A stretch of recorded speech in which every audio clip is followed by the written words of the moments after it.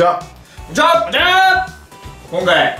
何ニコニコしてるいやーもう、はい待ちに待ったと言いますか。本当に。やっとこのやっぱりプえ。えロ野球ニュースっぽい、ええやってますね、豊さんも。やってんなっていう。やってるだろ、はい。なんと今回ですね、はい。豊さんが、まあ、実際キャンプに入った。よ足を運んで行はいったということなんですけれども、はい。そこで映像を入手したという。おー。はい。実際もう足運んでますから、はでその豊さんはまあ実際現地行ってますけど振り返って僕らはまあもう僕らも一緒に見つつそうだな。いろいろこう豊さんのお話聞いていきたいなと。あいいじゃないですか。はい。広島カープのキャンプから、えー見ていきたいと思います、はーい。はい。これがまず、守備練習だよな、はノックですね。守備練習。はい。うん。まあファーストは総じて下手だったな、総じて下手早そこはやっぱ争ってる、なるほどなるほど、ね。はい。サードは阿部と、はい。えー堂林が受ける。ここら辺は右左で、ーはい。はい。まあ尾形監督は右左では使わないと思うんだよね、やっぱり頼りにする方を使うと思うんだよね。なるほどうん。だからまあ熾烈な争いをしてたけど、はやっぱ阿部の方がちょっとうまかったかな。お守備守備的には。そうだね。でこのセカンドショートはもちろん、まあ、セカンドショートはさ、あのーまあとりあえず田中康介と、はい。まあとりあえずじゃないな、一般的に田中康介菊池だよね。まあそうですよね。やっぱり。でも田中康介の受け方ってさ、はい。やっぱりこう丁寧だね。さすがショートだっていう風な感じがした。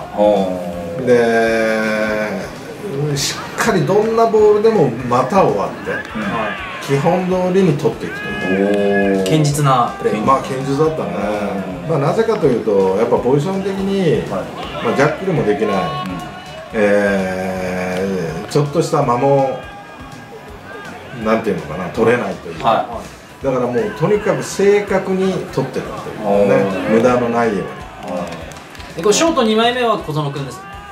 まあ小園だよね、うん。どうどうですか？動きというか。うん。やっぱ田中康介を抜くにはちょっと時間かかるよね。ああやっぱりまだ。まあそう言っても。あまあ確かに、あのー素晴らしいよ、うん。素晴らしいけどもそれはやっぱ康介と比べるとちょっと厳しいよね、うん。まだね。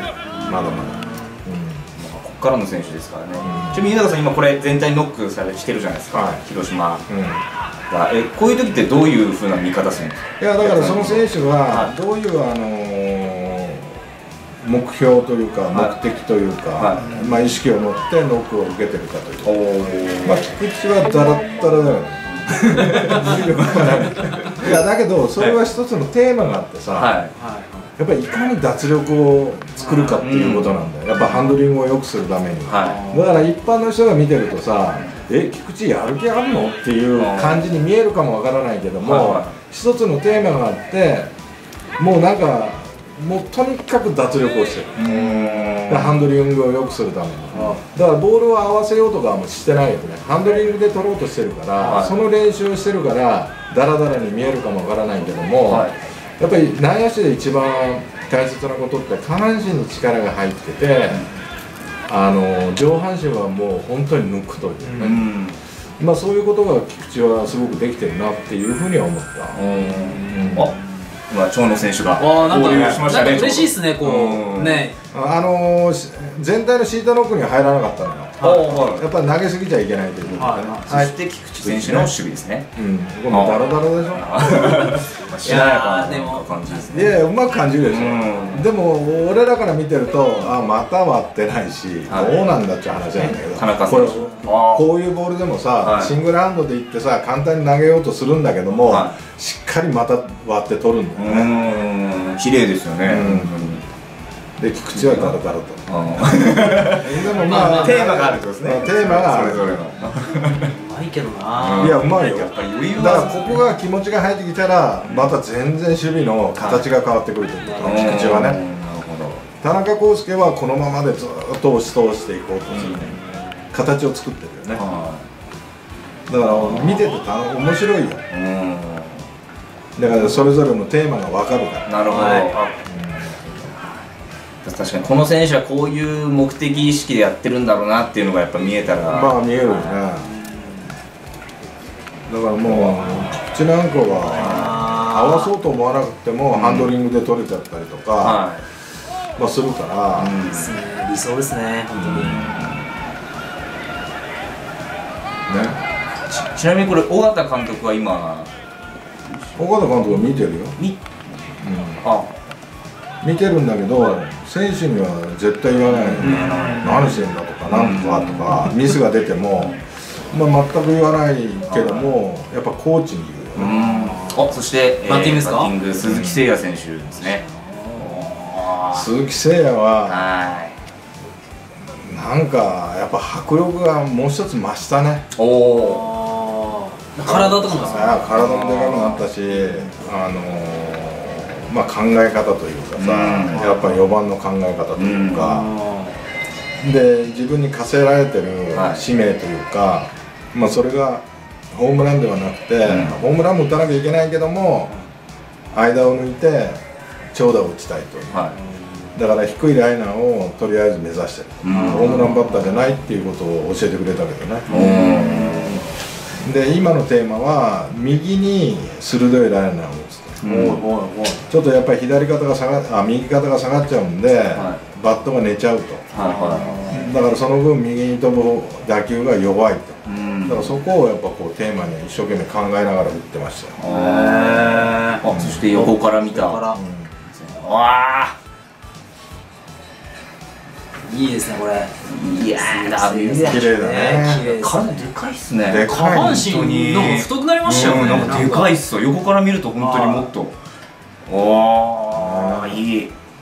いいけどちょっと突っ込みすぎ気味なんだよねこの時。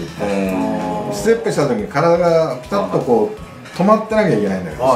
さある位置に。だはからこれ一緒にまだちょっと出ていってるから、はまだやっぱりこう調整の段階なんだろうなって思ういそうですね。やっぱ。キャンプでやっぱり。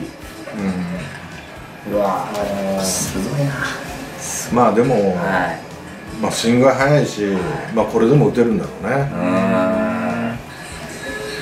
まあ微妙なことを言えばだよ。はでもこれだけでも十分なんだけどね。